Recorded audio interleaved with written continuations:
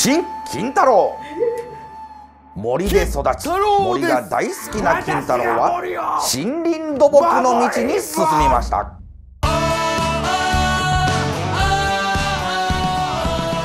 そして仲間と共に日々森の安全を守るさまざまな仕事に取り組んでいます。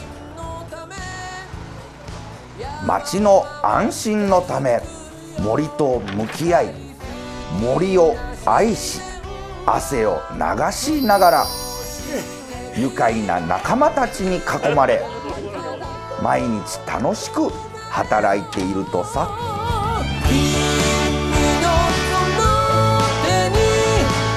来たね!